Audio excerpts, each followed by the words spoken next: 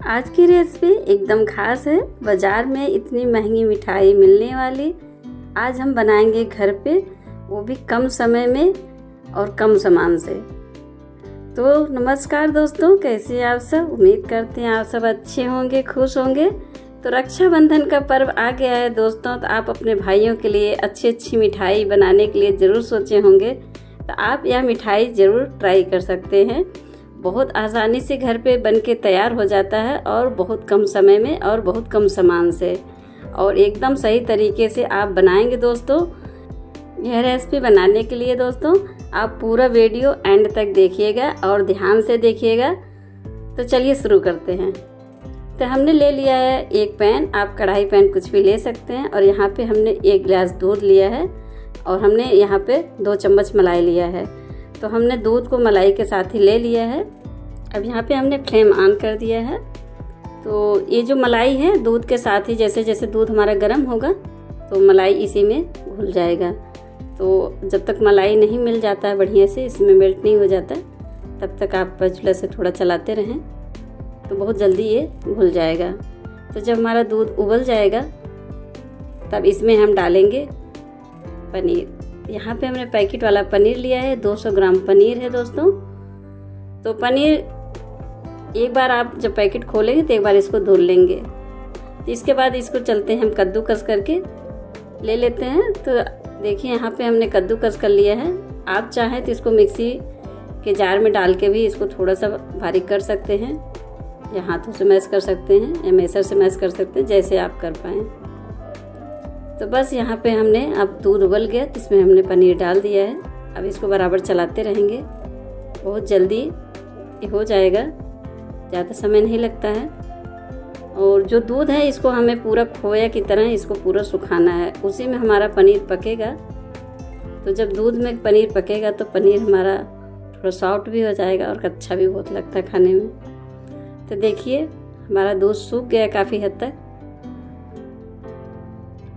तो अब इसमें हम डाल लेते हैं थोड़ा सा घी। घी डालने से स्वाद थोड़ा और बढ़ जाएगा और जब हम इसको जमाएँगे बर्फ़ी तो हमारे जमने में भी मदद करेगा। तो देखिए यहाँ पे हमने दो चम्मच घी लिया है छोटे चम्मच से।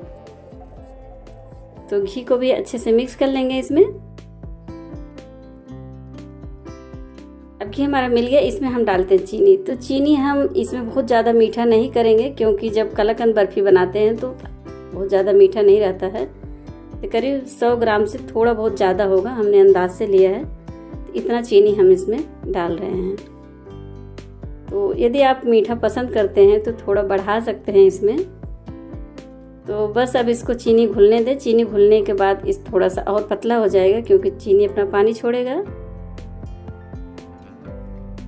फ्लेम हमने लो टू मीडियम रखा है अभी। तो देखिए, अब धीरे धीरे पतला होने लगा क्योंकि चीनी अपना पानी छोड़ रहा है।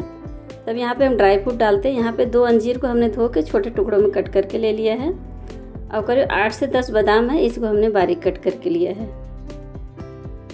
तो और ड्राई फ्रूट आप अपने पसंद का डालना चाहते तो यहाँ पर डाल सकते हैं। अब यहाँ पे हम डाल रहे हैं मिल्क पाउडर तो हम करीब दो चम्मच यहाँ पे मिल्क पाउडर डाल रहे हैं। यदि आपके पास है तो डालिएगा, नहीं तो आप स्किप कर दीजिएगा। अब यहाँ पे हम नारियल का बुरादा जो कद्दूकस किए हुआ नारियल आता है, पैकेट का हम वो डाल रहे हैं। आप सूखा नारियल अगर डालना चाहते हैं तो आप कद्दूकस करके घर में जो नारियल रहता है, उसको भी डाल सकते हैं। तो बस अब इसको अच्छे से इसमें मिक्स कर देंगे। इसको डालने से थोड़ा स्वाद बढ़ जाता है। पर ऐसा नहीं है कि आप इसके बगैर नहीं बना सकते हैं। आप इसके बगैर भी बना सकते हैं। तो बस अच्छे से हमने इसमें मिक्स कर लिया है। बढ़िया से। तो दोस्तों, क्या है कि बहुत ज़्यादा इसको अभी गैस का फ्लेम एकदम धीमा हमने कर लिया है। अब यहाँ पे हमने थाली में बटर पेपर रख दिया, उसके ऊपर हमने थोड़ा सा घी लगा लिया है। आप यदि बटर पेपर नहीं रखना चाहते हैं तो थाली में ही थोड़ा सा घी लगा के पहले से तैयारी करके रख लें जमाने के लिए बर्फ़ी। अब यहाँ पे हम डाल रहे हैं एक चुटकी केसर के धागे। केसर के धागे को जब पंखुड़ियाँ दिखती हैं तो बहुत अच्छा लगता है। यदि आपके पास है तो डालिएगा, नहीं तो आप स्किप करिएगा। हमारे पास था तो हमने डाल दिया। तो इनको अच्छे से मिक्स कर देंगे आपस में। और गैस का फ्लेम हमने एकदम धीमा रखा है दोस्तों, बिल्कुल आपका ओवर कुक नहीं होना चाहिए, नहीं तो एकदम सूख जाएगा। अब यहाँ पे हम डाल रहे हैं आधा चुटकी नमक, आधा चुटकी से भी कम कह सकते हैं। इसमें डाले हैं, क्योंकि थोड़ा मीठे का बैलेंस अच्छा हो जाता है। तो अच्छे से मिक्स कर देंगे, बस ये हमारा अब जमाने के लिए तैयार है। तो जो हमने बटर पेपर पे घी लगा के रखा है, अब उस पर हम गिरा लेते हैं। यदि आपके पास बटर पेपर नहीं तो आप थाली में घी लगा के आप उसमें जमा लें। तो देखिए, अब इसमें हमने डाल लिया है। अब इसको हम करछी की सहायता से फैला लेंगे। हमारा थाली हमको बड़ा लग रहा है। तो थोड़ा हम इसको साइड साइड से इकट्ठा कर देते हैं, छोटा कर देते हैं। क्योंकि थोड़ा जब बर्फ़ी का पीस मोटा रहता, तभी अच्छा लगता देखने में। पूरी थाली में फैला रहेगा तो बहुत पतला पीस रहेगा। इसलिए हम चारों तरफ़ से इसको थोड़ा थोड़ा इकट्ठा कर दिए हैं। तो दोस्तों, इसको पूरी तरह तीन से चार घंटे लगेंगे ठंडा होने में, सेट होने में। इसके बाद आप एक से दो घंटा के लिए फ्रिज में रख देंगे। फिर इसके पीस काटेंगे। देखिए, देखने में कितना अच्छा लग रहा है। इसके ऊपर हम डालते हैं थोड़ा सा बारीक कटा हुआ पिस्ता। तो थोड़ा सा सजा देते हैं। देखने में बहुत अच्छा लगता है। तब इसको हम रख देते हैं दो तीन घंटा के लिए अच्छे से हमारा जब ठंडा हो जाएगा तब इसको हम फ्रिज में रख देंगे एक दो घंटा के लिए। इसके बाद फिर मिलते हैं आपसे। तो देखिए, हम दो तीन घंटा बाद इसको आपको दिखा रहे हैं और एक घंटा करीब डेढ़ से दो घंटा तक हम इसको फ्रिज में भी रख दिए थे। तो देखिए, हमारा अच्छे से जम गया है। तो बस, अब हमारा बर्फ़ी बढ़िया से सेट हो गया है। तो चलिए, हम इसके पीस अलग कर लेते हैं।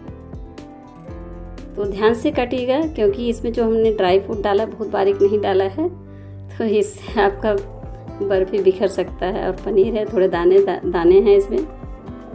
दाने थोड़े मोटे मोटे ही हैं क्योंकि हमने मिक्सी में पीस के अगर आपको दाने बारीक चाहिए तो आप इसको मिक्सी में पीस लें दूध के साथ ही फिर आप इसको गैस पे चढ़ाएँ।